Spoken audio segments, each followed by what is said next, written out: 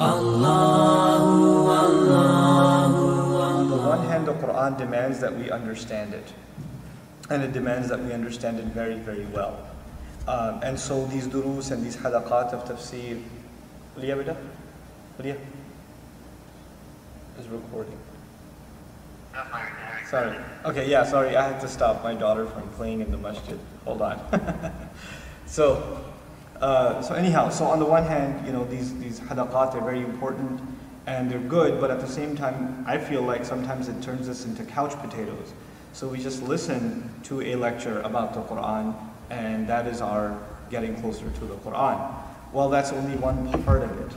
And the other parts of it that are equally, I would argue, even if not more important, are uh, you know, memorizing the Quran, uh, reciting the Quran every day, trying to make sure that you're reciting it in a way that's better and better. These are the this is the practical dimension of our relationship with the Quran. And so when somebody really wants to prepare for Ramadan very, very well, I mean, the, the first basic piece of advice I would give you, I mean, I'm talking to so many different kinds of people, excuse me. I'm talking to so many different kinds of people right now. Some of you are mothers, some of you are students, some of you are employees. You have different kinds of schedules and different kinds of obligations. So you have to figure this out, this piece of advice out for yourself, how it's going to work specifically. But making time to recite the Quran every day, like pick, put everything else down. And I'm not just talking about the Quran you've already memorized. I'm talking about picking a time in the day, preferably after one of the prayers, like after Fajr or after Isha, good, good nice times, or after Maghrib even. And this is not after Ramadan starts, but this is from now. And just sitting with the Book of Allah and reciting. If you can't handle a lot, then at least a couple of pages. And you'll notice that you get lazy very quickly. Like you recite a little bit and you start yawning, or you start feeling like, I gotta do something else. It's not the couch potato, because you're actively doing it yourself. You're not just sitting back and listening and you can tune out or tune in. You actually actively have to put an effort into reciting the Quran. And this is really where your personal uh, litmus test is going to come to play. How much time really do I enjoy spending with this book? And if you don't get in the habit of reciting it regularly, the next step that I'm trying to advise you of, which is going to be to try and memorize it, that's never even going to start. That's forget that road, you know. So the, the first thing is get into the habit of reciting the Quran every day. This is I'm not saying this as a replacement of the lectures and the talks and this other stuff. I'm saying that you know uh, saying this as a basic practical starting point in your own personal journey with the Quran, and it's something that. Um, the scholars among us, the speakers among us, those who don't know much at all about Arabic or Quran or tafsir, all of them are in the same boat when it comes to this. This is something we equally have to give importance to. So just because I've been or trying to study at least the Quran for the last decade doesn't mean that I'm exempt for having to recite the Quran, you know, a, a decent amount of it, amount of it every single day. It doesn't make me exempt. It's something I need as much as you need, and even my teachers need. It's not something that anybody will graduate beyond. That's the beauty of this book, that we're never past it. We can't just say, oh, I already recited that page. Oh, I already recited this surah. It doesn't work like that. And Ramadan is a great opportunity for instilling and reinforcing those good habits, inshallah ta'ala. So my first two bits of advice, get in the habit of reciting Quran regularly from now until the beginning of Ramadan, manageable amounts.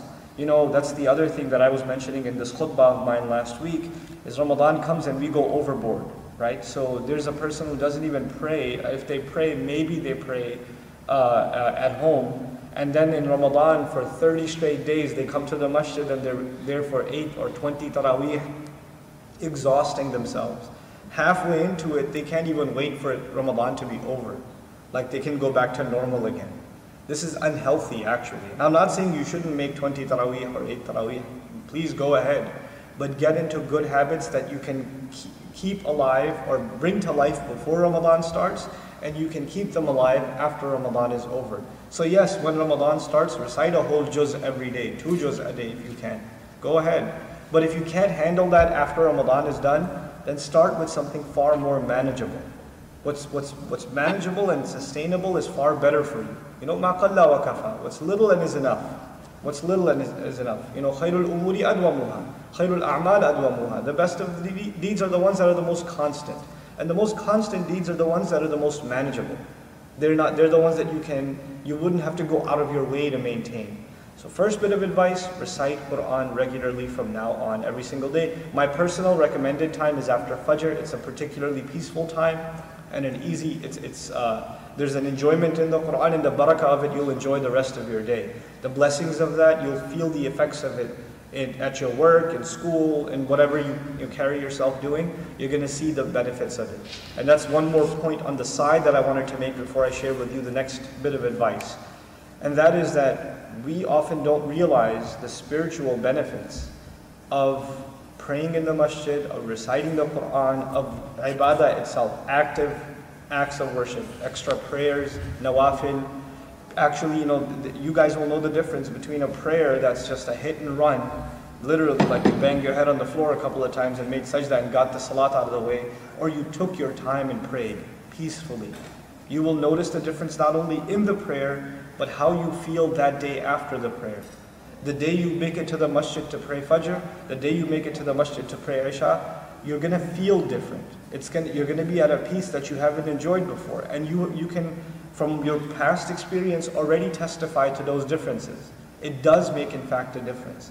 And those are the, the, these are some of the joys of Islam. One of the joys of our iman is that we get to taste its fruits even in this life.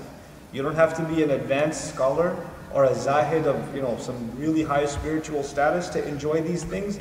Even if you have you're not in the habit of regularly praying in the masjid or reciting a lot of Quran, you get started now, you'll start tasting the sweetness of it right away.